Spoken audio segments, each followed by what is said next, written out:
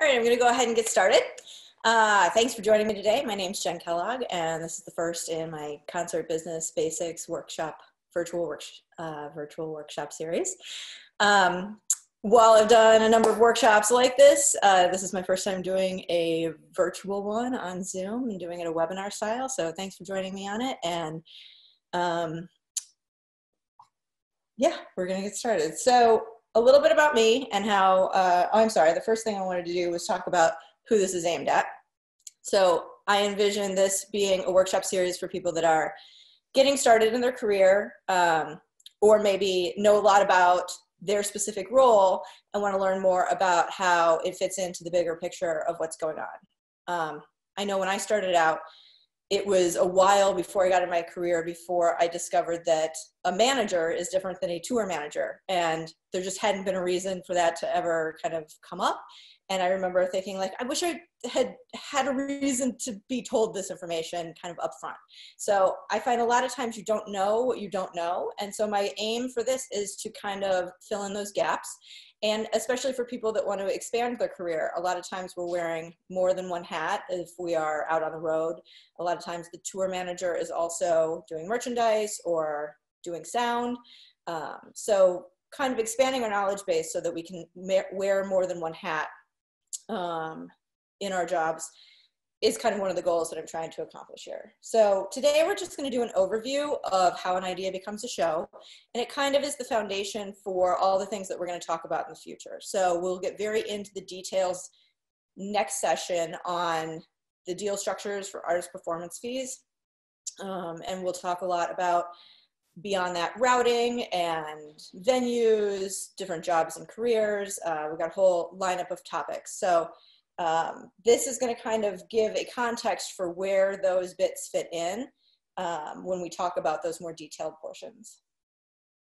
A little bit about me for those of you that don't know me. I know a lot of you from the Warped Tour, I think, or from my time working um, at Columbia College Chicago. I have a lot of uh, students that I think are rejoining in on this. Um, I started my career at Jam Productions in Chicago.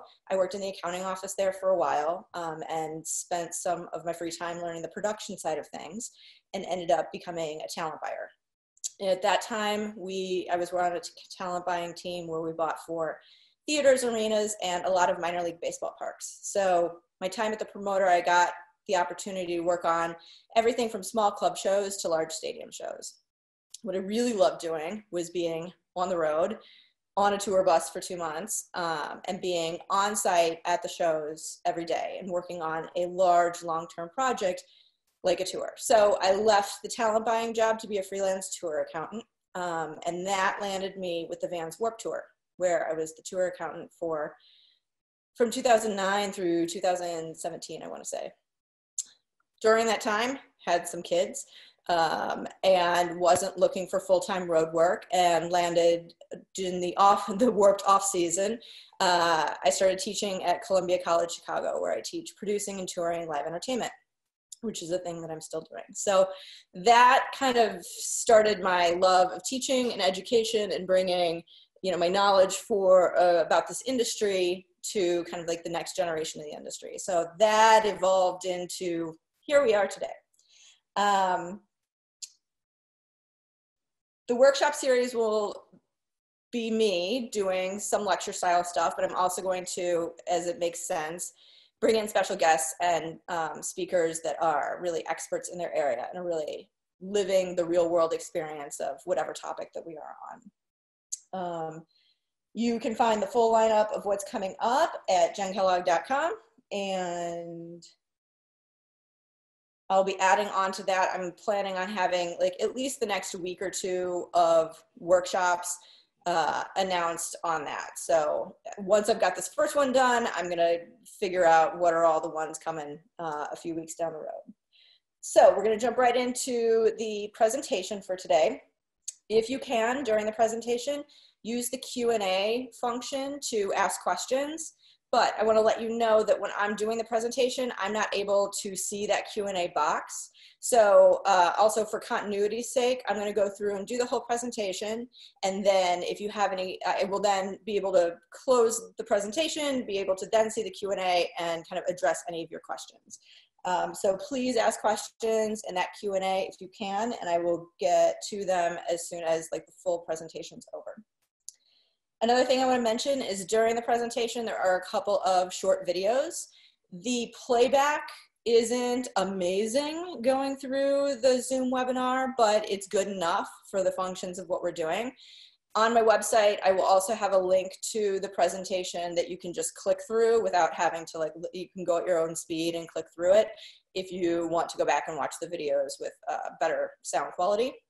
Um, and those videos, special thanks to all of the people who five or so years ago were willing to get filmed and um, ended up in these videos when we were doing it, it was all kind of related to the Warped Tour.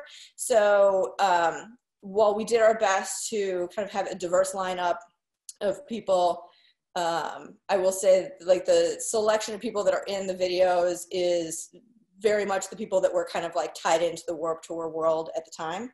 Um, and I thank them all for participating and uh, and joining us on that. Uh, and it's really been uh, useful to have these little video parts to be able to kind of tell the story. So um, jumping into the presentation, I'm going to share my screen and you will be able to hear me, but not see me. Um,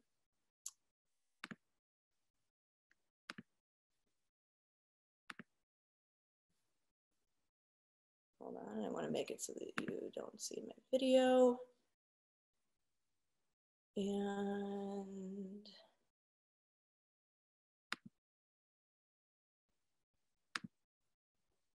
here we go.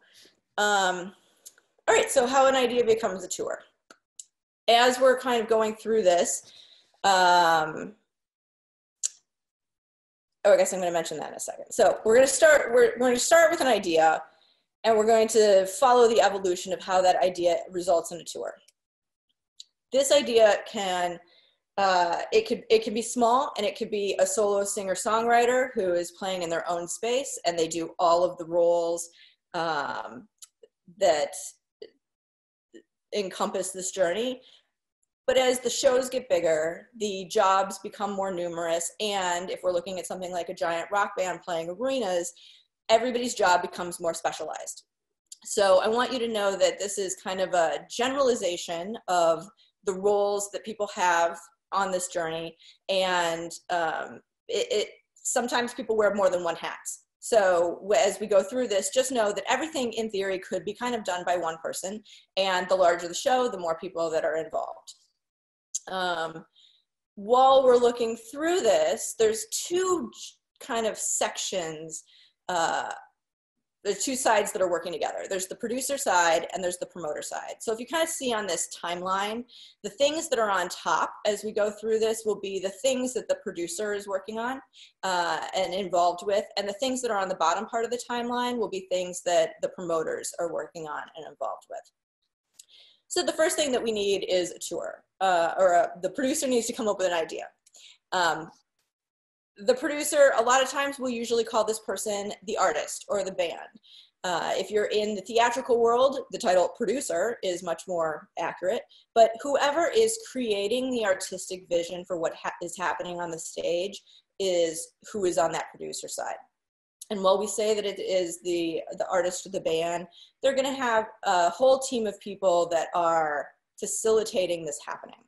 Um, on the promoter side, while the producer has the artistic vision for what's happening on the stage and like the big picture of what the tour is going to be and look like when we're looking at the stage, on the promoter side, that is the entity who is going to take the financial risk on a particular show, or maybe they're buying the tour and taking the risk on a full tour. They're going to contract with the artist and the venue to bring the artist and the venue and that date together for the show to actually happen. They're going to advertise the show, make tickets available uh, to the public for sale, and they're going to provide any of the local production requirements. So these lines have gotten more blurred as promoters are buying full tours and having ideas that function as like the producer idea of what's happening on the stage. But traditionally, a promoter is taking care of these things and the the artist, the producer, is having the financial or not the fin- the artistic vision and bringing that vision to life on the stage. The promoter is bringing that performance to a local audience. So we've got an idea. Let's we're going to use a, a, fictional example of some real with, with some real world names just so we all kind of have the same kind of context. Let's pretend we've got a band like green day that wants to do a giant rock show. Pyro lighting video huge show.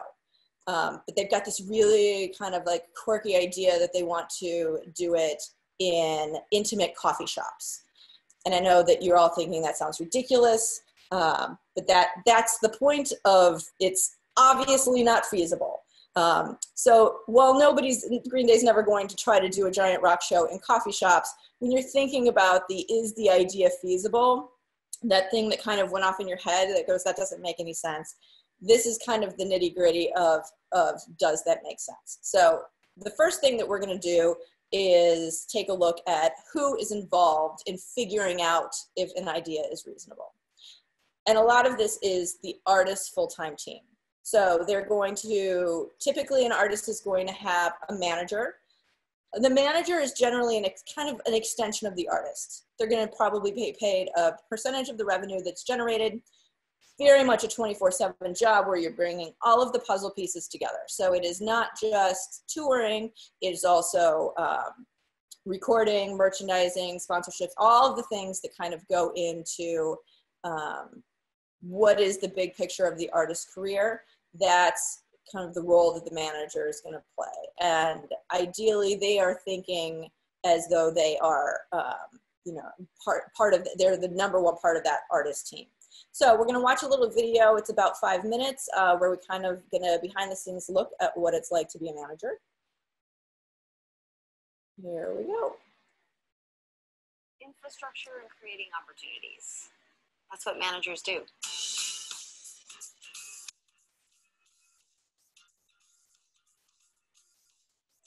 the most interesting thing about doing management is there's really no such thing as a typical day. One day you could be waking up and going to a studio and working on music. You could be flying halfway across the world to uh, help supervise a festival. And then you could be on a photo or a video shoot, working and making sure all the styling and the imaging and the cash flow and the time is all running on time. I view it as you're really the big picture strategist. You've got to come up with the long term plan and goals and then sort of back that down into smaller, more achievable, manageable goals. I look at management as I'm overseeing all the departments, so I have to be a little bit of an expert in everything, but I don't have to know every single tidbit because I'm hiring the people to run those departments? Generally, you've got everyone. I mean, you've got the product manager and marketing team at the label. You've got publicist, either like intern at the label or externally hired radio department. Uh, your publisher and your TV sync team. You've got there's yeah attorney. Uh, there's just like a whole host of people. I guess as a manager, you're kind of just running point and making sure everyone's doing what they should be doing and everyone's communicating and kind of giving some directions so people aren't treading on other toes. The manager's connected yeah. to everybody. Like we are the ones dealing with all the communication. The job of a manager is to supervise every single operation that happens in a band. If I'm doing my job right, we eliminate the problem before it happens being a manager is not something you can read a book and learn. You actually have to physically be in those situations and do everything. My entry was just like being a part of the community, like being involved. I think that's really important.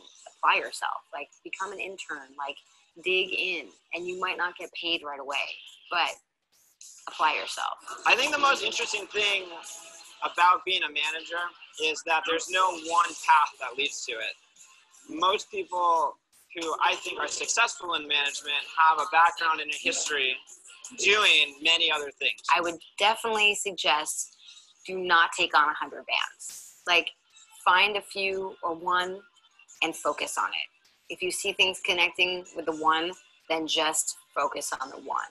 Don't spread yourself too thin because that that's a mistake and you will not be able to serve the artist well. Just get up there and hustle and like there's so much you can do by yourself. I mean i started out as a photographer just like randomly emailing managers and pissing them off trying to get in and shoot their band and ended up on tour shooting books and you just gotta i mean you can whatever you want to do you can do. You just gotta like get out there and do it. Just gotta have the motivation and the drive to do it and not sit around waiting for someone to come and help you. Your level of interest will take you wherever you need to go. And you'll you know mother nature will tell you if it's your spot or not after time for sure. It's that natural selection works really well. Forming a team is crucial because what you want is when you bring each team member on, you really need those team members to have been to a place that you haven't been to before. Just to introduce you into these gates and circles and next levels where they've won and you've never even shown up at. You have to understand how things like publicity work, how the legal process works, how merchandising works, how touring works, how hiring crew works, how insurance works. There's probably a hundred different people that work with every band, and the job is really to know what they do and who the right people are for that team. Each artist is very different, and you know I don't feel that I need to be best friends with my artists, but I do feel like there needs to be a some sort of symbiotic relationship, especially when you're talking about the younger artists. I take a very like educational approach. I feel like if my artists are informed about how and why I'm making a decision, they can learn to understand how and why I'll be making future decisions. The difference between a good manager and a bad manager is I think the difference between being reactive and proactive. And it's one thing to sit there and address problems if things come up.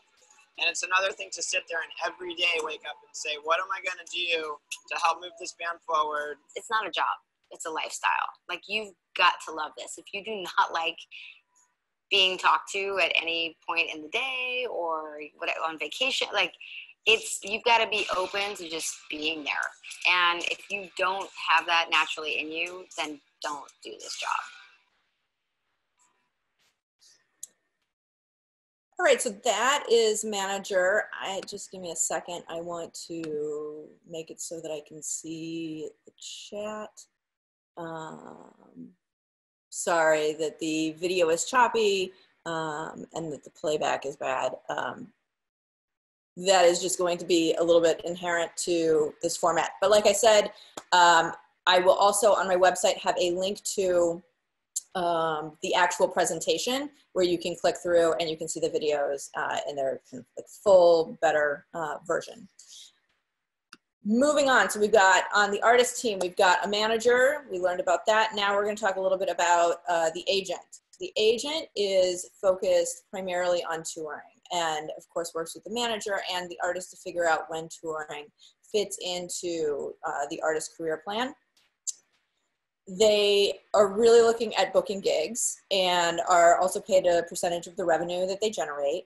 It's very much a um, kind of an office job. Like whenever I see, whenever I'm working shows and managers, are, or I'm sorry, when agents are at the show for the day, they all feel like they can't get any work done. They would rather be at their desk with their office and their phone and their computer and their system and their process. And uh, I find agents seem to work most efficiently when they're kind of in their office space, whereas managers are on a different um, their their day can their days can be much more varied. Where one day they are on site, another day they're in an office, another day they're a shoot, like uh, Mike Kaminsky said in the video. So looking at the agent video, we're going to take a look into what that job is like. Why isn't it moving forward? There we go. I feel a personal responsibility and obligation to these people. They've trusted me with their careers and their livelihood. And so it's important to me that, you know, I can deliver on that.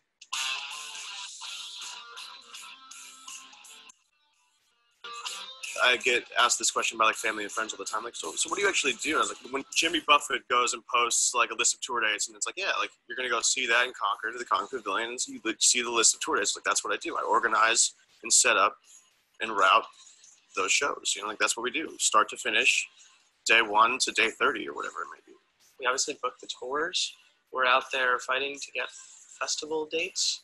Uh, we're fighting to get the bands opening for bigger bands. Booking agent can be just a guy who bangs out dates and like an employment agent finds jobs for entertainers. It's coordinating and scheduling, you know, the artist's touring plans. We're getting ticket counts for the shows, so we're continuing to monitor how many tickets we're selling, where they tour, when they tour, how much they get paid. We spend a lot of time talking to the band, strategizing what the upcoming plans are going to be, whether it's the next tour or the next two years. Also, being a mentor to them as well, not just booking, but also being a friend and part of their family pretty much as well. A booking agent can be someone who strategizes, gets a little bit more involved, and tries to figure out how best to tour a band to grow their career or to maintain their career and maintain their income at, at a proper level. Internships at you know an agency would be ideal, or working with a promoter on the other side of it, seeing what the promoter is doing and how they're dealing with the agents. Work in the mailroom, go buy talent at, at a little club, get get yourself known, make friends, and maybe somebody in a position to give you a job all of a sudden says, you know what, this guy's sharp, this girl's sharp. It's going to shows. A lot of kids just want to like email people and like Facebook stalk people and Facebook message people about stuff, but you got to get out to go to shows. You got to meet people. You got to. It's about your personality too. It's about wanting to. I want to be an agent. Like this is what I want to do. That's what I did. You know, I was 17 years old and I told my mom I want to be a booking agent. Be an assistant somewhere. Like work your way up. Like the more you're around this stuff, the more you're going to learn. This is not a thing that can be taught. I think the best way to learn is to just do it it's maybe easier said than done, but I think, you know, finding that local band that you really believe in, that your friends play in, and offering to book them some shows and just diving in head first and trying to figure it out, that's going to be a better learning experience than any schooling for this job that's out there. You just have to hustle and hustle and hustle. You know, it's like you might not get the all-time low tour that you submit for, but maybe you'll get it the fourth time around. You know, you got to put the band's name in front of the agent and just just call it punishing. Just punish, punish, punish over and over and over. And uh, sometimes it clicks, sometimes it doesn't. Every agent has, a, I think, a very different style. Um, I know for me, I'm not the yelling type. I'm not super aggressive. For me, it's about building relationships and making people want to work with you. It's, it's a negotiation also process between the agents and managers, and that's the whole grind of being an agent is trying to get the most reasonable money for your client or little extra. As long as you have a great staff, you can figure out a really good system and be super organized. It's not that hard to take on a lot and still really cover all the bases. Um, but you definitely can't do that overnight. That's something that you know, you have to gradually grow it so that you can actually continue to grow with the size of the roster and figure out how to continue to make your system more and more efficient.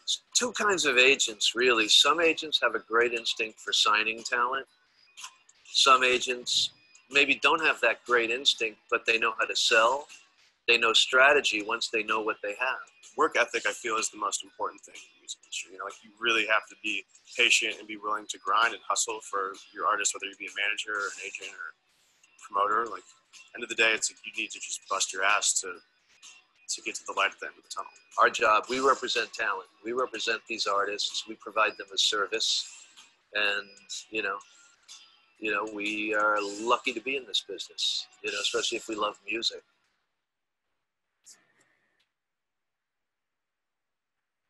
All right, and a third um, big component to the is this feasible team is going to be the business manager. So business managers can have a whole range of responsibilities.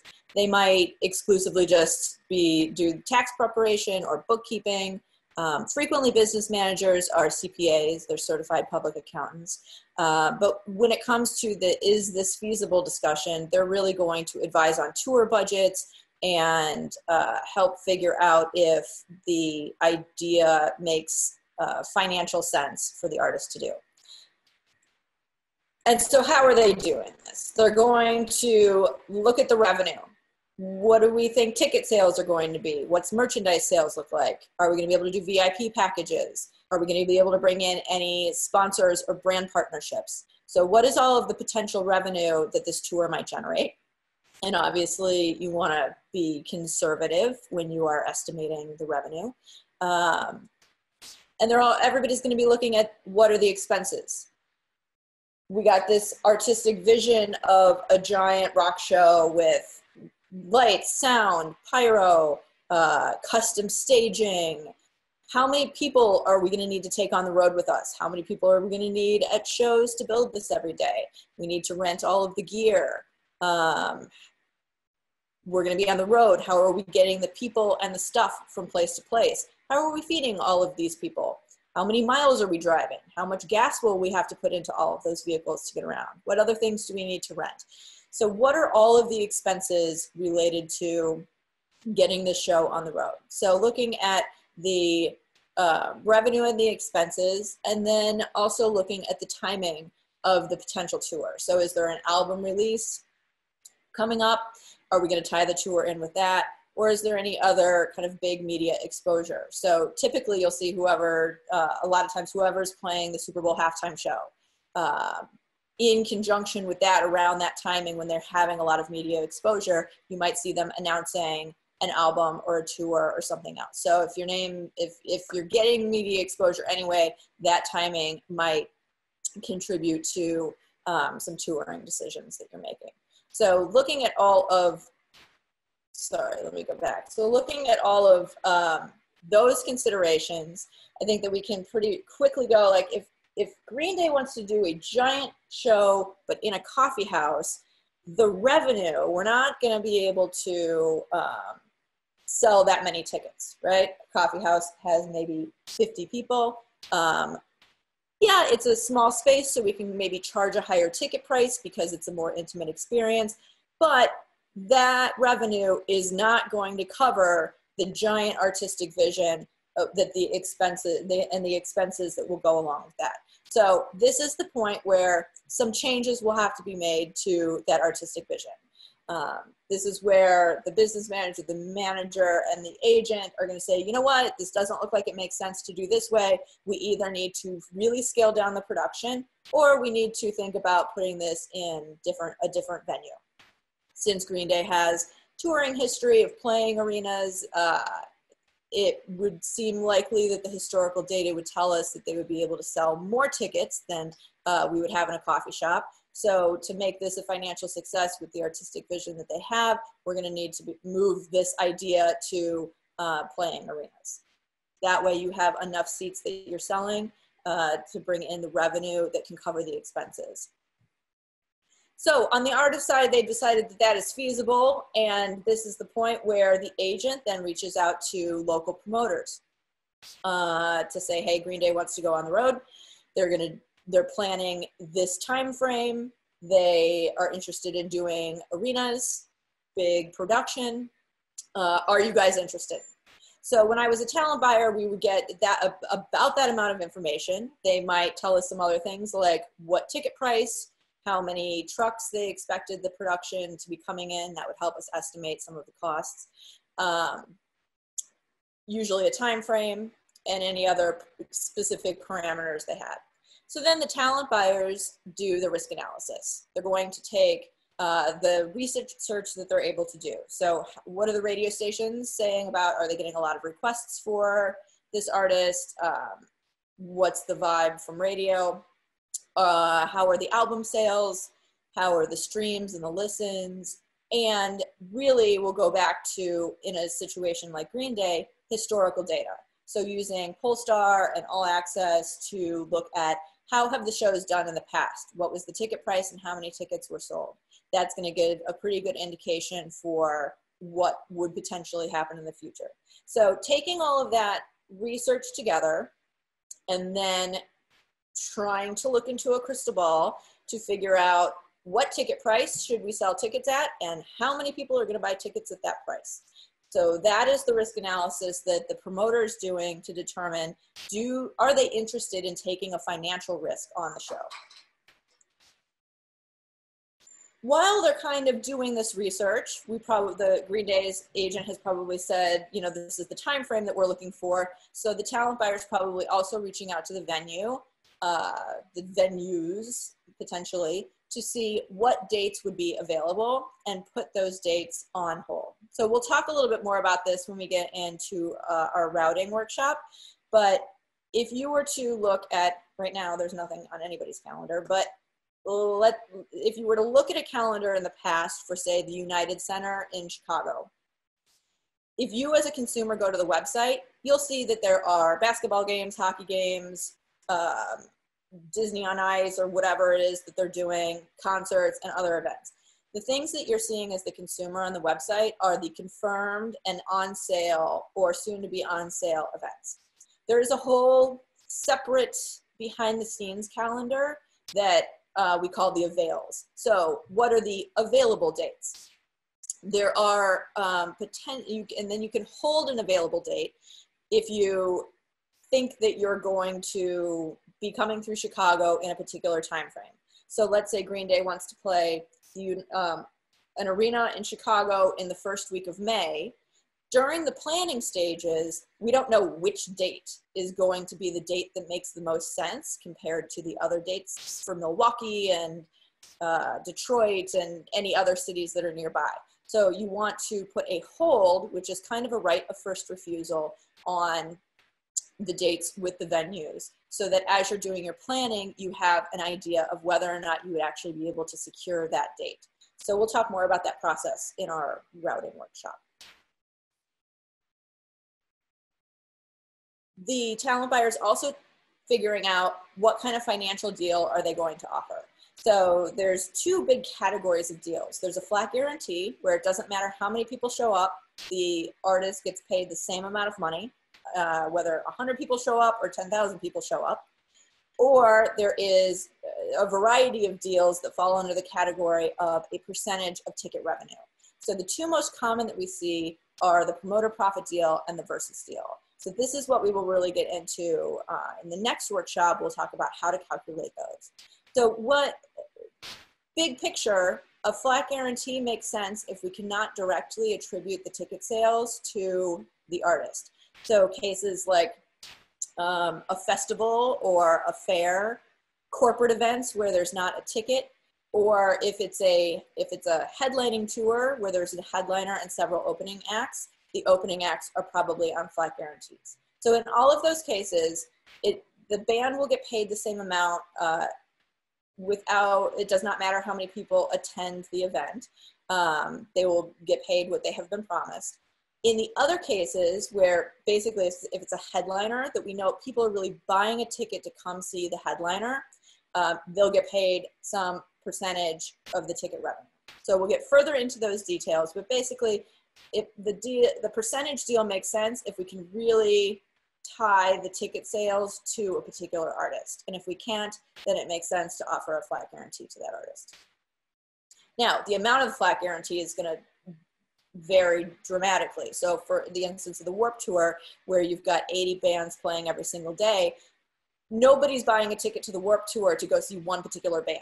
And if they were, well, maybe they are, but we wouldn't be able to tell which band they're coming to see.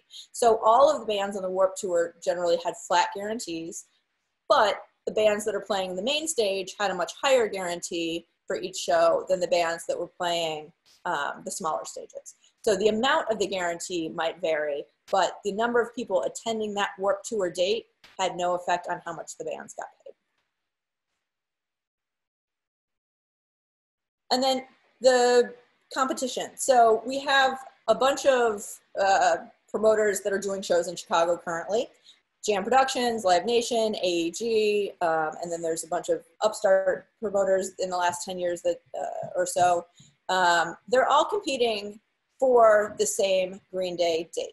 So let's say in this case, Jam Productions and Live Nation both want to do the Green Day show, and maybe they want to do it at the United Center, maybe they want to do it at the Allstate Arena, but both of those promoters do shows in both of those buildings. So they are competing to win this date. What are some factors that go into why an artist would go with one promoter over the other? Maybe they like the ticket pri- prices that the promoter has set. Maybe they like the expenses uh, related to the show. Um, that one promoter is able to do things more cost effectively. Um, how well does that promoter kind of have a grasp on the local market? Do they have the marketing reach to best draw um, fans to the show? Um, oh, going back to the revenue and the expenses, those two things, the ticket prices and the expenses, are going to have a big impact on how much the promoter can offer the artist for a performance fee. So sometimes the decision might be financially based on is the how much can the artist get paid, or there might be other considerations on like marketing reach or the history that a promoter has had with an artist. So it very much used to be the case before before Live Nation was a thing and all markets around the country had a primary independent promoter. They if you did a show with an artist when they were small, you then kind of had a right of first refusal. This was the polite thing, um, a right of first refusal for future shows. So this really kind of encouraged promoters to take a chance on smaller artists and then know that they were going to kind of grow with them as their career grew. Um, with the advent of national touring, I think a, a, little bit of that kind of changed where uh, the local, his, the history that a promoter had with an artist in a specific market um, sometimes does not play uh, the same role as it used to when promoters can buy an, an entire tour. Um, so that's competition between promoters. So who's involved in doing this on the side of the promoter? Who's figuring out this risk analysis and is do we want to take a risk on the show and and all of this? So the talent buyer kind of oversees the promoter's involvement in a show and loosely we kind of call the company the promoter and the people that work at the company who are doing this um, are talent buyers and or whatever other role such as marketing director. But there's plenty of promoters out there where the promoter is a one person show and they are doing all of the things um, that fall under the category of promoter. So a lot of times promoter and talent buyer, those titles are kind of used interchangeably. Um, so the talent buyer is overseeing the promoter's entire involvement, must love risk assessment and negotiation, um, and will kind of oversee the once, well, I guess we get to that in a few slides. So we're gonna take a look at this video about promoters.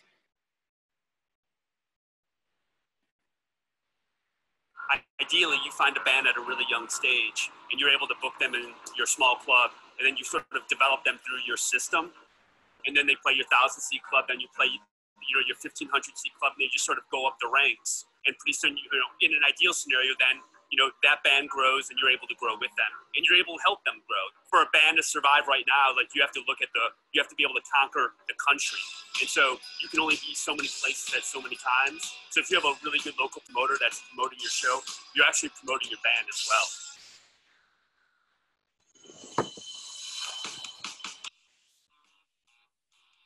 Typical day for myself at the office uh, it's a lot of talking. Uh, talking to agents, managers, talking to radio stations, talking to uh, bands themselves about opportunities, how we're going to promote, how we can grow bands in a particular market, how we can do shows bigger and better, how we can make it better for fans. So it's a little bit of everything from you know, promoting bands and the marketing side to how we operate our venues um, and how we get, you know, the fans the best concert experience we can. Well, I'm kind of a one person operation. I do all my marketing, I run my shows, I book, you know, I'm the talent buyer, you know, so I kind of have to deal with every aspect of a show. I'm not a larger promoter where, you know, one person's booking the show, one person is running the shows, one person's marketing them, one person's doing press. Like I kind of do all of it negotiate the rights to do a concert, and then we do everything we can to make that concert successful. So marketing, production, uh, you know, every element of it. Typical day, it's it's more of a week thing because we start at the beginning of the week, and I take the, the staff and I meet, and we talk about all the shows that are going to happen that week. how we're going to handle because each show is different. We discuss how we're going to handle the parking, how we're going to handle the crowd, how we're going to make sure that everything fits.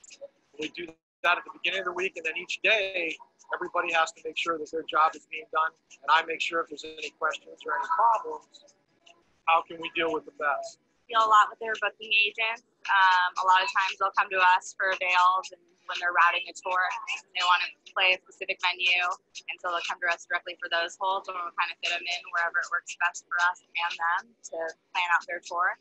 Um, a lot of times they come to us with a, band or an idea, but they don't necessarily have a venue in mind. So we work with them on the event and what we think is gonna is going to be most successful for the event.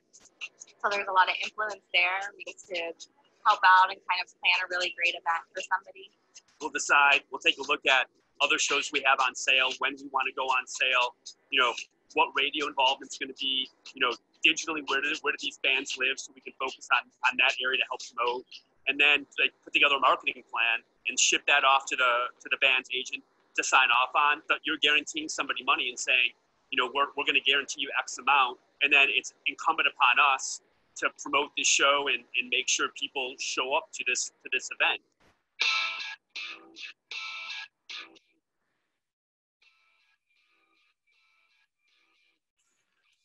If you're starting out in this business, pursue what you're passionate about. If you like being on the promoter side, you know, go find the best promoter and look for the job. And if it doesn't pay anything, who cares? Like in five or ten years, if you're passionate about what you're doing, opportunity and hopefully money will, will come. Never think that anything's below you. You know, you really have to take whatever opportunity comes your way because you don't know where that next opportunity is going to lead you. One of the things that's really you have to be able to do is deal with people.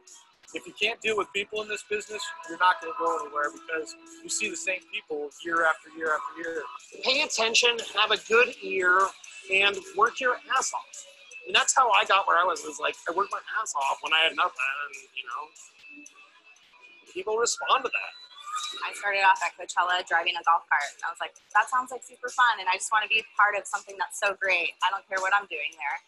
And from there, you know, I think as long as you can prove that you're a hard worker and have a really positive attitude about things and are willing to take on challenges in a positive way, then things will come your way. You know, the the responsibility will always find you as long as you have a good attitude about it and a really strong work ethic.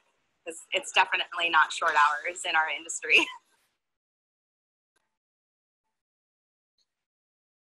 All right, so that's a little behind the scenes of the promoter talent buyer role. Uh, the marketing director at a promoter will likely also kind of be involved in the uh, are we interested in making an offer on this and getting uh, how how well would this show do? So they have uh, the connections with the radio stations and other local media outlets to kind of get a feel for um, how how the show would perform. So they're going to advise on research at this point in the in the process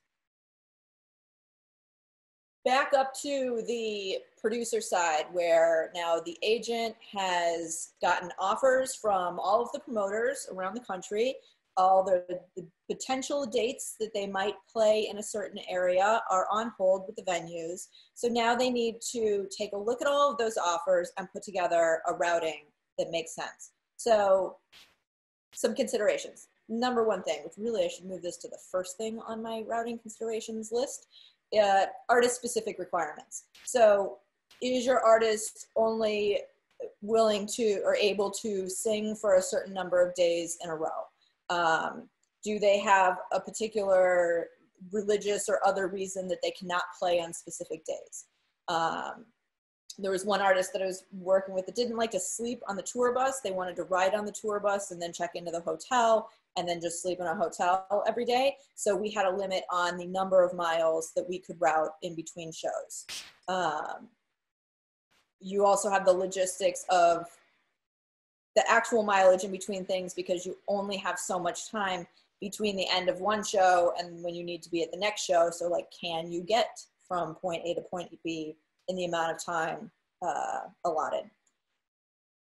uh, days of the week. So obviously Saturdays are a great day to have shows. Mondays are the least great day. It seems like Mondays would be about the same as Sundays or Tuesdays, but people just kind of have something in their head that like Monday is just not a day to go out as much. So ideally, you're not putting shows on Mondays, and ideally, you're putting shows on Saturday, Friday, Saturdays, Sundays. Um, but that there's not a hard and fast rule on any of that. A lot of it also depends on a bunch of other factors, um, like venue availability. So you really want to play the United Center in Chicago, but if that already has something booked on the day that you want to play there, you're going to have to figure out a different solution. So are you going to play on a different day? Are you going to play in a different venue? Um, so venue availability is certainly a consideration. Time of year, especially with the number of festivals that are happening, there's kind of now festival season and a lot of the traditional touring as a result is taking place, is making a busy fall an even busier fall. Um, many festivals have a radius clause that says from a physical radius of however many miles, 150 miles from the location of the festival or the show, you as an artist are not allowed to play other shows for three or four months in advance and a month afterwards to avoid competition uh, and cannibalizing your own uh, sales. So because of those radius clauses, if you're a band that's playing festivals, you're not doing a lot of touring in those festival markets in the several months leading up to it. This has pushed a lot more shows to happening in the fall, and the fall was already a busy time anyway. So this will be interesting with our new pandemic situation once things become open. Venue availability and is going to become uh, a challenge because everybody's going to be trying to rebook their tours kind of on top of the same in the same time frames. And competing events. Not only are you competing against other artists and other events that are of the same genre, but you are competing against just other things happening in the world. So, like, for instance, Christmas Day is probably not a good day to hold a concert, right? But New Year's Eve, definitely have a show New Year's Eve. So uh, on the Warped Tour, we saw a huge decline in sales whenever we would play a show on Father's Day. And the reason for that was our the audience was primarily 13 to 19 year olds, which is an age range whose parents would still like them to uh, participate in family events on Father's Day. So we would, it, comparing a show from one year to the next, we would see a big drop off in sales when uh, it happened on Father's Day. So Fourth of July, another example. Um, most local areas are having some sort of event with fireworks and then uh, and trying to draw a, a, crowd away from that type of thing to a standalone uh, non-firework event you know you're going to have some competition there so all of these things are considerations that go into putting together a routing that makes the most sense ideally you're not backtracking you're having the most efficient route from point a to point b to point c um, but there's a lot of the pieces of the puzzle that need to come together to make that happen. So the agent's figuring out the routing, getting approval from management and the band on all of this stuff, and then we're at the point where the agent can start confirming the shows. So they're going to figure out which offer they want to accept, um, let the promoter know that they've accepted that offer. The next steps are plan the on when is it going to go on sale. A lot of who should talk to who about things like marketing. Um, so a lot of introduction, introductions and connections for the other parts of the teams to be able to connect with each other to get the ball rolling on, on sales and marketing. And then the agency issues the contract to the promoter. So at this point, the big things for the show have been nailed down. We know the date, we know the venue, we know the ticket price, we know any relevant expenses. So anything related to the deal specifically has been worked out. Um, so that all gets put on the contract along with a bunch of standard issue language um, that gets sent to the promoter, and then both sides send it back and forth, crossing off little nuanced details about whether they get paid in a check or by cash or by wire. Um, so a lot of legal things getting crossed off and rewritten back and forth. Um, as the as the tour accountant, it's a rare occasion that I see an actual final completed contract with both signatures on it. I usually get sent some version that is the, the things that are relevant to the day of show are kind of solid, uh, but it's some in-between version that's usually not fully executed. So agent is confirming the shows with the talent buyer.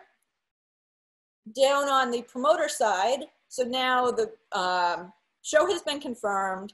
The talent buyer can oversee the kind of three main departments that will be working on the show uh, leading up to it.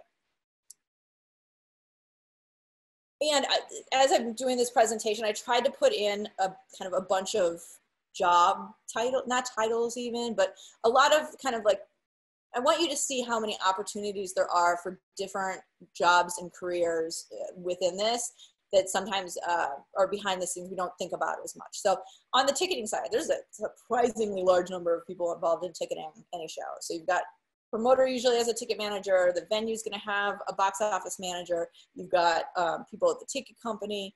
Um, so making sure that the show is going on sale when it's supposed to, that all the ticket text is correct, that the prices are correct, that it's all built correctly. Um, all of that stuff's going to be getting set up. On the marketing front, it used to be that out of the show budget, there would, there would be an advertising marketing budget.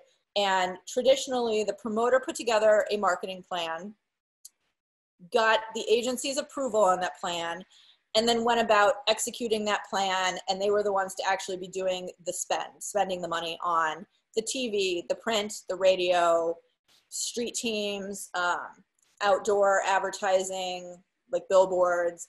Um, since digital has become such a large element. I'm seeing a lot more collaboration between the promoters and the artist team. So promoters know what works locally. They know what else is being advertised in the same time frame um, in their local market, and artists know where their fans are living online. So artists really know what are the platforms, what are the, how do we reach the um, the artist fans online. So I'm seeing kind of a lot more collaboration than there was 20 years ago. Then on the production side, you've got um, a promoter rep, who we also sometimes call a product, production manager. They're going to coordinate with the artist and coordinate with the venue to provide whatever it is that is required locally for that artistic vision to happen on the stage. Um, and we'll get more into the advancing advanced work um, a few slides down.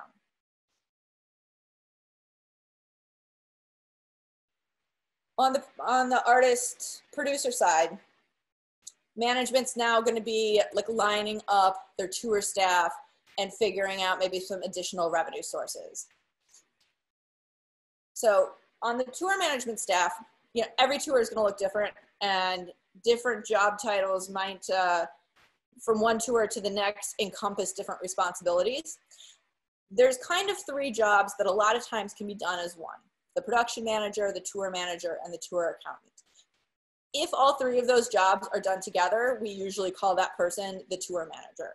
So on Warped Tour, the artists that were touring on Warped Tour typically had a tour manager that would also be doing the functions of production manager and tour accountant. So I'm going to talk about the production manager and tour accountant kind of separately um, before we get to tour manager. So the production manager is who's really executing the artist's technical vision. And they're figuring out how to take the budget that they've been allocated um, and they're going to maybe have feedback on if that budget makes sense or not and can we do the artistic vision with this budget? Is, is are these things going to go together? Um, but they're going to take the artist vision of what's the sound, the lights, the stage, what the whole thing will look like, and make that a technical reality. They're also going to be the person that creates the rider, which is a written document of what the production needs from the local uh, promoter to, to get this show on the stage. They're going to hire the vendors, plan rehearsals. When they're traveling on the tour, typically the production manager travels with the crew and they are getting the crew and the gear from point A to point B. a lot of the production manager work is done in advance. Um, ideally, there's been lots of conversations in advance, so the day of show, everything runs really smoothly. And I think it's really important in this role to be able to be super organized and detail oriented and able to delegate. So having the, you know, the job is production manager, not production doer, I hear people say a lot, but being able to have the big picture umbrella vision for what are all of these things going on and how are they all fitting together you have to be able to kind of like look at a big overview. So you've got sound light staging eh, all of these things. The production manager is bringing these different departments together into a cohesive um, production. So being able to kind of have the overview and be able to tie all of these parts together eh, is really key. The tour accountant, in my personal opinion, the, the funnest job. Um, so you're kind of the, the tour accountant is a terrible title for what this job is. Like I'm a tour accountant. I'm not an accountant. I don't have a CPA. Um, I'm not doing any actual accounting. I'm not filing taxes. I'm not creating financial statements, and I'm not doing any bookkeeping. So what is it that I'm doing? Um, really, I'm the on-site business manager. So I'm going to handle any cash transactions that need to ha happen physically on site. So payment of per diems, which is like a dollar amount that you get um, that kind of covers your um, travel away from home, work related expenses like eating, um, bus driver floats. Um, but the big things that I'm typically doing is the financial settlement on behalf of the artist. I'm doing that with the promoter to get the artist paid for that performance based on the agreement that the agent and talent buyer had previously agreed, the deal that had been previously agreed upon. So most of the work that I'm doing as a tour accountant is in spreadsheet format. So I'm creating uh, spreadsheets and working with spreadsheets that then I send into the business manager who then puts it into the actual accounting system and does the actual taxes and financial reporting. So um, I do a lot of spreadsheet creation and work with spreadsheets but it's not within the actual accounting system usually. Um, and that varies for, from organization to organization. So if you have three people doing these jobs, the tour manager then typically is with the artist, getting the artist from point A to point B. So they'll usually travel on the bus with the artist, um, do whatever the artist schedule is. If they go to the hotel before they go to the venue, they would be along for that ride. Um, a lot of times on tours, the once it gets a little bit bigger and you now have two people, a lot of times the tour manager will also do the tour accounting and the production manager does the things we already talked about as the production manager. So we're gonna watch a little video on tour managers. These tour managers are all talking about it from the perspective of doing all three of these things together.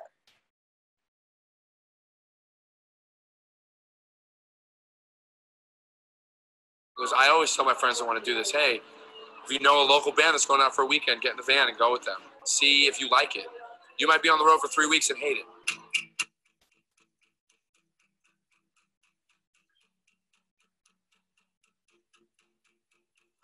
normal tour manager is responsible for all day of logistics. Go to production, sign up for press, get the set times, radio everybody. Feed them, I get them waters, I get them ice. I'm pretty much like the road mob.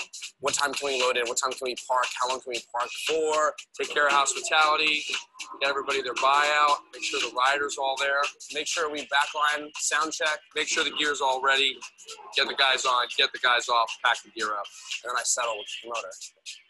get. At the end of the day, it's always getting paid. The biggest thing is organization skills um, as a road manager, you're basically just managing the lives of the people that you're on tour with. You organize everything they're going to have to do. You've known what they're going to do that day for weeks. And it's all about making sure that everything happens just right. I'd say 75% of tour managing actually happens uh, before you're on tour, if you're doing it right, in my opinion. It's just really overseeing and making sure everybody's doing their job, how it needs to be done and delegating appropriately so it can be done in the most you know financially viable and efficient way possible for your artists because at the end of the day you're also the accountant on the road making sure that they can make money and pay you. All the guys that I know that are really good and the guys that I've looked up to, guys that have kind of mentored me throughout time, have all they all come from the same background that I did, and that was that was very early on getting in the band and going on tour and learning it firsthand. Uh, the, the easiest route for me was just to work for Friends Band because it was just a foot into like a venue. The music business is very political. The hard work gets you a long way, but knowing people in the business is like any other industry in the world, really. Knowing people is what's going to help you get your foot in the door, and having the talent and the hard work and being able to back up people putting in a good word for you or whatever, being able to back that up with raw talent and hard work is a really positive thing. If you know Friends Band, hey, do you want me to sell T-shirts for you for free and just I'll hang out and sell your shirts? Or hey, do you need someone to help set up your stage? You know, if you know anything about guitars or lighting or, or sound, then do that. And then the other side, which is what I did as well, was intern at a venue. You know, if you have a House of Blues near you or a VFW, you know, whatever. Hey, I'll work for free. Work for free, pay your dues, get learn as much as possible. That's another thing that a lot of crew guys that are jaded and old frown upon is asking questions. But I still ask questions because I want to learn. You know, I don't want to be out here just doing the same old thing. I want to learn and, and be better at my job because I care about it. I think a good tour manager, you know, holds no bounds and the bottom line, I always want to make sure my guys are really happy. At this point, I've now done every job there is in the touring world because I wanted to be a good tour manager. I wanted to have an, you know, an overall encompassing idea of what needed to be done in everyone's department. I like to get really personal with all my guys because I don't want there ever to be a time where they feel like there's anyone else they can talk to except me any issue they come into, I want to be the first person that knows about it because that's my job to handle it. Be willing to listen, be willing to learn. Can't be right all the time. I think for a tour manager, if you're timid, then you're you're not going to succeed. Really, um, you just have to believe in what you do.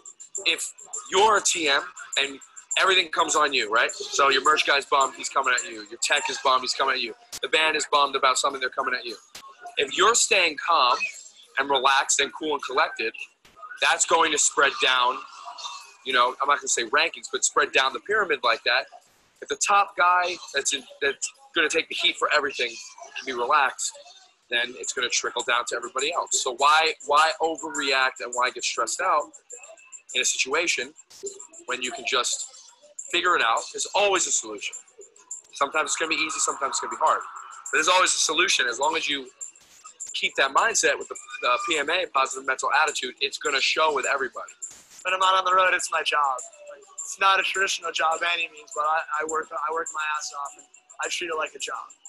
Everybody has their own way of doing it. So just like the music is the art form, like my work is my art. So I try to perfect that and, and sell it to the point where people want that, you know? I hate to think about this as a job really just bums me out. Like when I'm ready for a job, I'll stop touring and I'll do something else and I'll work, I guess. All right, so those are some tour managers. Um, the next thing that is kind of happening once those key roles are put into place is lining up the vendors and the rest of the crew. And this can really vary so drastically from tour to tour on what's needed. Um, but we've got all of those kind of production elements that we talked about earlier. You're going to have designers of those. You're going to have techs that are executing it on a day to day. And then, um, you know, there's other roles that we kind of, I don't want to say forget about, but um, that don't require technical expertise.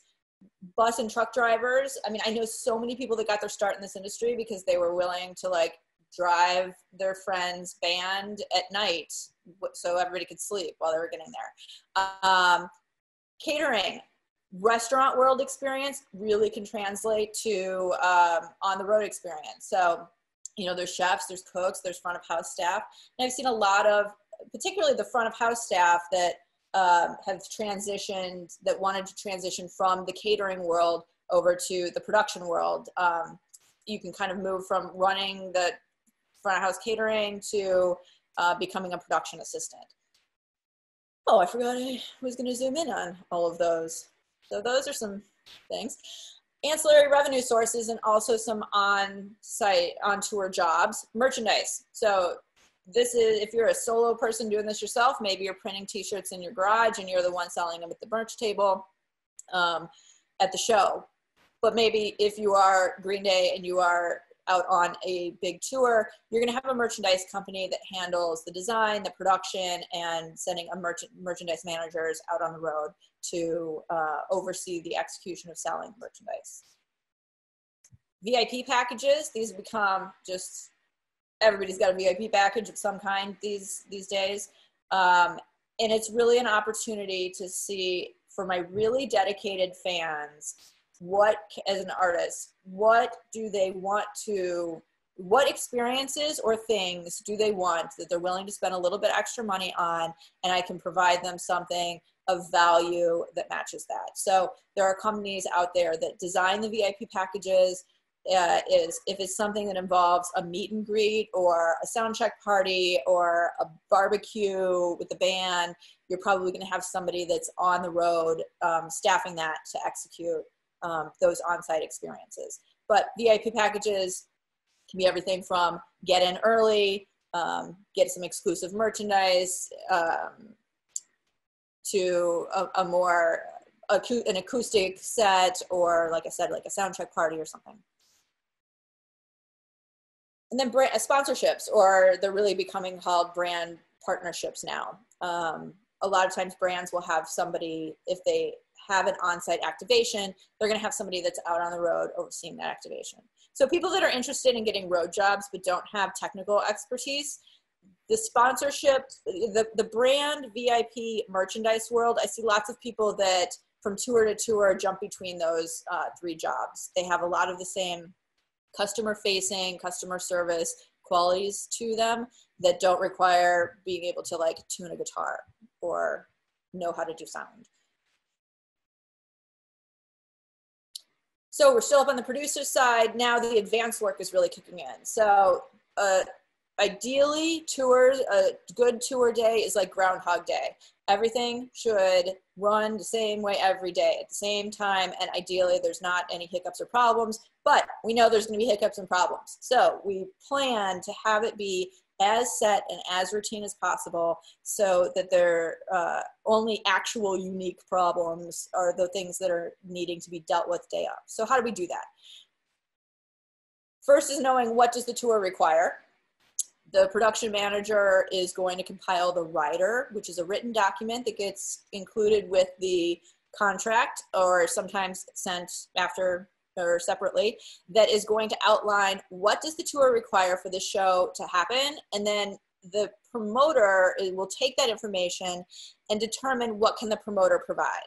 Um, a lot of times when we hear riders out in like the non-professional world here we hear about you know what all of the fancy green M&Ms or the fancy steaks or you know all the, it's really catering related and that's just the hospitality needs are just really one aspect of the rider so the tech there's a technical section there's a hospitality section and a security section and then whatever other sections need to be I'll usually try to get something included about settlement as the tour accountant. I'll put in there when, you know, that I am the person to settle with and this is when I'm looking to do it. And then I'll usually have my own separate advance that I send out. But things like if you're playing an arena, they need to know where to build the stage in advance. What size should that stage be if the arena is building the stage? And what location, how far from the back wall do they need to put the stage? Parking needs how many buses and trucks are coming and then the promoter will be able to determine are we able to park all of those there so a great example in chicago is like the chicago theater. It's right downtown. You can put four trucks in the alley and you can park a couple of tour buses on the street next to it. But in advance the uh, we need to know what are we going to do with if we have more vehicles than that. We need to have a plan for where are we going to park the vehicles if we can't do it on site. Stagehands, when, what time are they needed, how many, um, security needs, dressing room and office needs. So kind of anything that that the promoter would ideally be able to do something about in advance if they don't have exactly what is required um, will be in the rider. A lot of times this is followed up with a phone call, um, especially if it is a new promoter that the production manager is working with, or a new tour or a new show, a phone call, and really be able to talk through all of these details is going to make for a much smoother day of show. So once the promoter, uh, the, the production manager has had that advanced phone call with the promoter, the promoter knows what they need locally. They're going to have the same advanced type conversation with the venue um, and go through the same things, find out what does the venue have that is required and what do, what are they, what do they not have? And then the promoter will figure out uh, how to source those additional things. So the tour requires a forklift. The venue does not have a forklift. Now the promoter, promoter is going to figure out where to rent a forklift from. Um, so that is kind of advanced work. Now we move on to the day of show, frequently abbreviated DOS. Um, so I'm going to talk about kind of like some the four kind of like key generic times that things are happening through the day. The first thing we have is load in. This is what is happening to the venue, not what is happening to the trucks. You're loading the things into the venue. So in the morning, loading into the venue. Um, who's going to be on site? ideally your tour buses have all showed up and your tour uh, trucks have all showed up. So hopefully your touring staff is there. Uh, and the touring staff is really going to oversee uh, all of the technical logistics of the local stagehands to build the show the way that it needs to be built. So the local um, venue and production staff and stagehands are going to be there. Um, you might have some security on depending on uh, what what the needs are. This is all very customized, and all of this would be in the rider um, from the production manager on who needs to be there at load-in time. Also, what time is load-in, and um, and that. So we're going to take a look at a video that is on um, a festival production crew.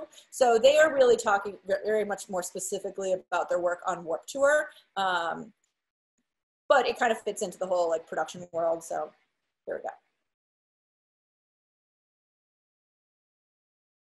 I love what I do. It makes me happier than anything else in the world. But I've never been, I've never sang, I've never played guitar, I've never been in a band. But I'll stand up there with my guys and see 5,000 kids jumping up and down. It looks like a tsunami. They're singing every word. And my guys are stoked, and I've seen them come off stage crying because they're so happy.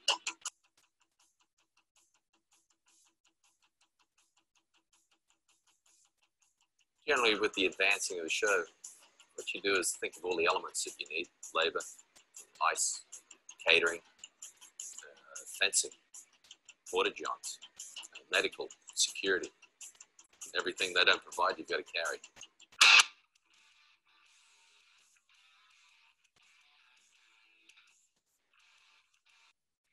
What a stagehand does is helps with uh, production, You help unload trucks, help put up stage. Every morning, uh, we are out here at like 6:45, 7 a.m. setting the stages, barricade, perimeter, and get the sound going. Backline out of the truck, getting everyone's tent situated. A bunch of different VIP risers that we set up and have to break down. So it takes us roughly about, I'd say, two and a half hours, maybe three hours to uh, get it completely show ready.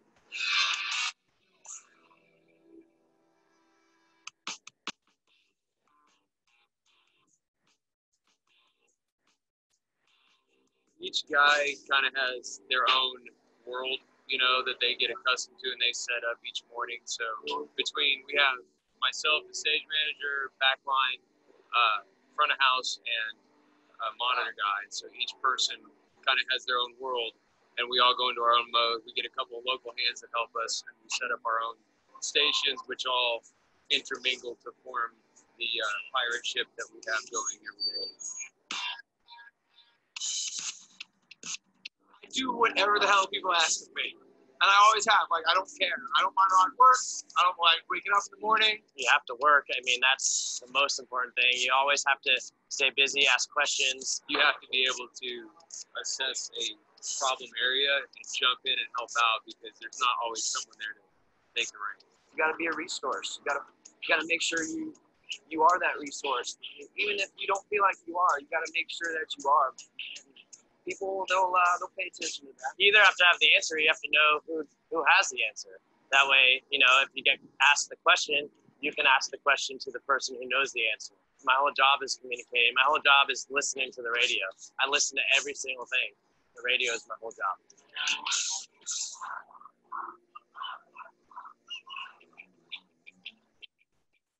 Sticking to a schedule is a big deal. All my bands know I like to start on time and end on time. I just like to be on schedule. I don't like to be that dude that's not. getting your foot in the door would be the kind of thing where just go to a venue in your local town and local hometown and just be like, hey, put me to work. I'll work for free, and just start there. You know, being there and like meet new people and they see what you do, and you get to be like you know trustworthy, and people like want like they give you a shot. I went to the venue to get a concession job. And I had a buddy that was walking out the backstage area. And what are you doing? He's like, I got a job backstage moving gear. And I was like, you know, I kind of had an idea of what a roadie was, but I didn't really know what a stagehand was. And he goes, Yeah, the locals come and they help the roadies. You know, we hung out a couple days later and he gave me the lady's number. The production manager, I called her and I got the job. Busting ass for free for someone for a year doesn't doesn't hurt. You know, do what you can.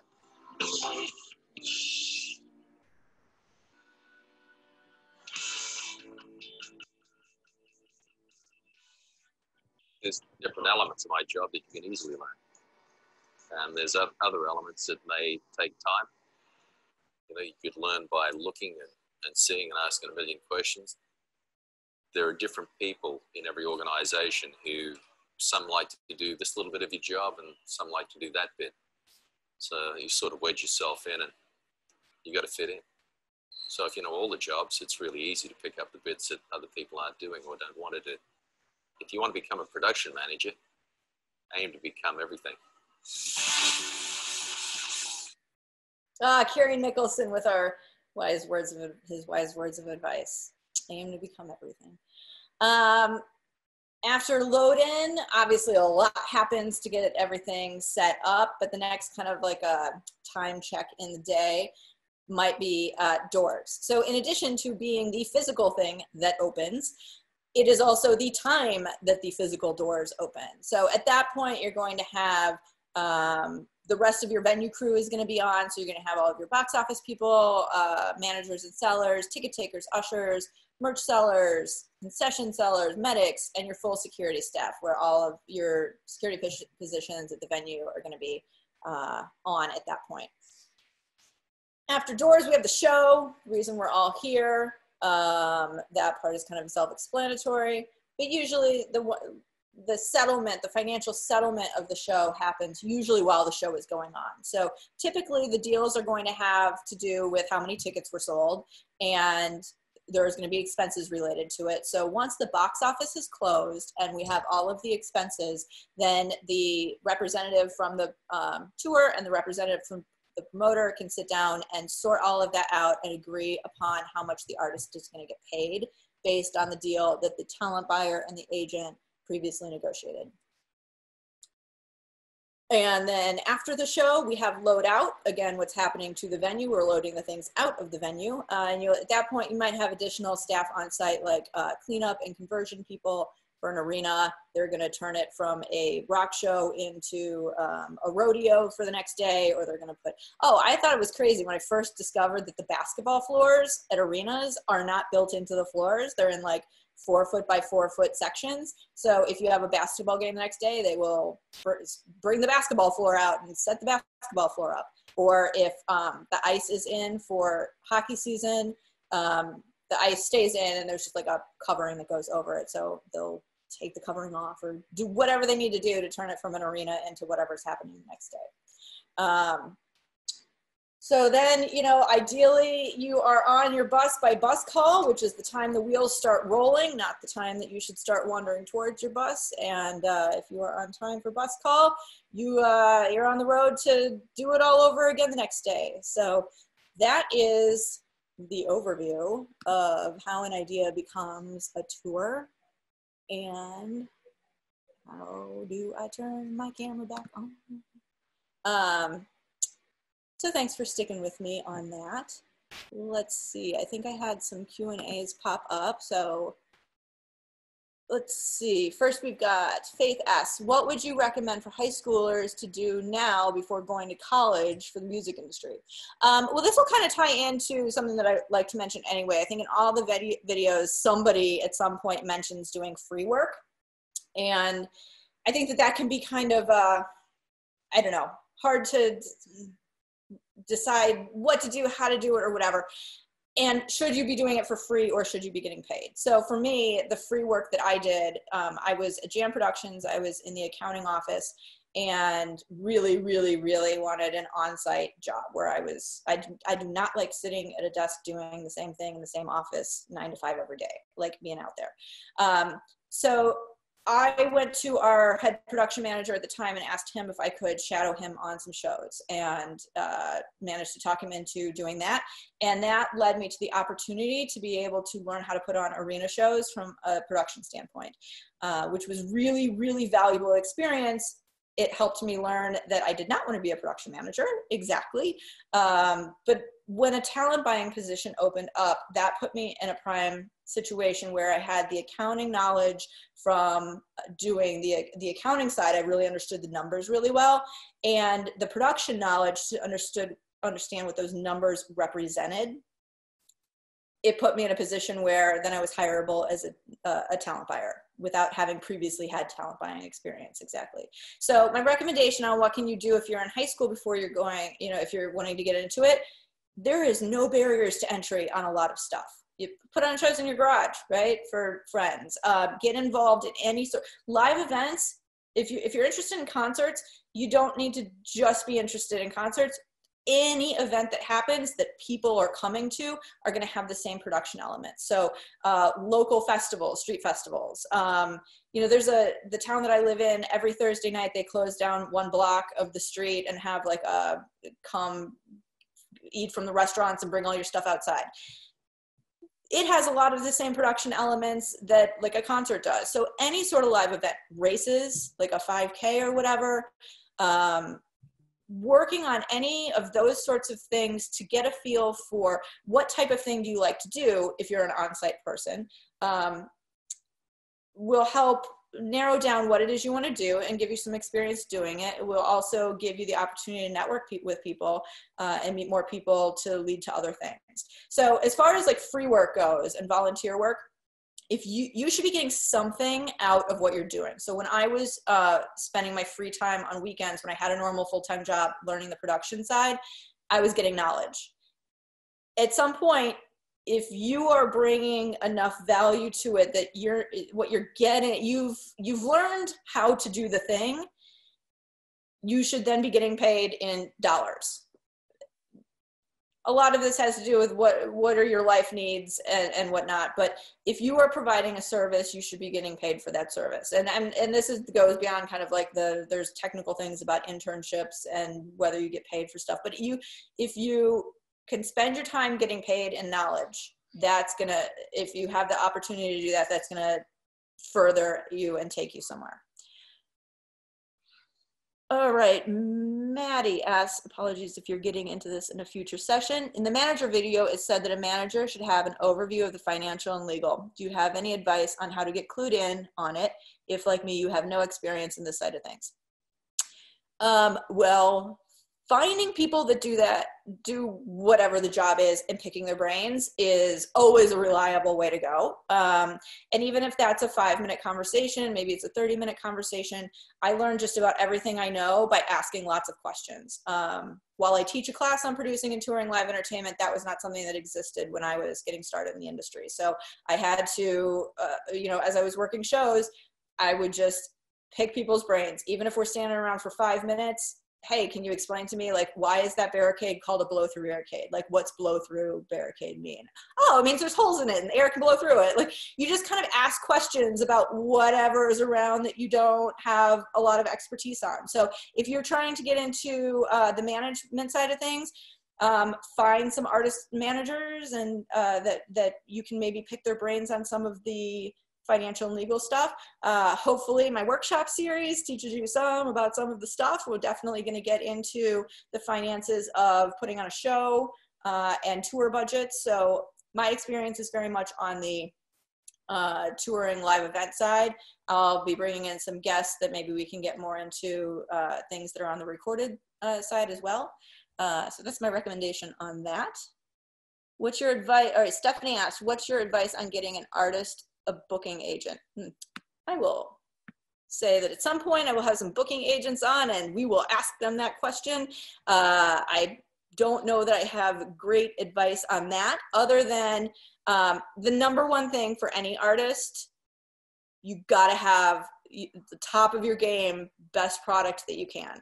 So especially during this time where everybody's stuck at home, like refine your craft your songs need to be not just great they need to be amazing. If you're like really work on it. Where if when we can go out and do live performances like play live as much as you can. So getting yourself the experience um, to really like hone and refine your craft is going to make you a much more uh, desirable candidate for um, a booking agent. I'm also going to say that in the in the it used to be that like record labels were like the gatekeepers. They decided who are we going to put a record out? And now now the record label is going to tell the entire world about this band now it's become you're able to develop an audience develop a following and then you can take that to an agent and say look at look at how we are growing. We are catching on. We are making something happen and we're ready to take it to you know the next step. We need more professional representation.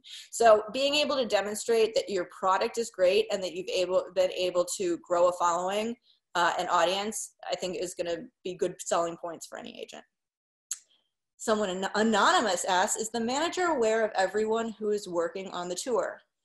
I mean, the manager should be aware because the manager's overseeing all of the things that's happening in the artist's career, but is the manager going to know the name of uh, a catering assistant. I, I, I don't know that the manager is going to specifically know all of the people on a large tour. A lot of times managers aren't out on the road day to day. The pro- production manager will know everybody that's on the tour. The tour manager will know everybody that's on the tour. But um, I don't know if the manager would necessarily know. But a good manager is going to have a pretty good idea of what's happening uh, on a tour. And Darian asked, will this lecture be online to restream? Yes, it will, Darren. Um, as soon as I get the Zoom recording, I'll put it up, uh, a link to it. I'll put it on YouTube and put a link to it on jenkellogg.com. Um, are there any other questions that maybe we have? Nothing's really popping in. So I just want to thank all of you again for spending this time with me. I hope you got something out of it. And um, looking forward to on Thursday, we're going to talk about deal structures for artist performance fees. I just want to emphasize I think that this is one of the things that's really hard to find somebody to teach you out in on, on site in the real world is how to calculate um, a promoter profit deal or a versus deal. So I'm really excited to run through those calculations and talk about like what situations they make sense in. Um, so hopefully you can join me for that. You've registered for this series of workshops, so you only have to register once, pop in whenever you can. And um, if you can't make it, they'll be online. Uh, some of the upcoming workshops will have more uh, hands-on things. When we're doing routing, we'll actually work on doing a hypothetical routing. Um, next next time when we do the deals we'll actually be like doing the calculations for the deals.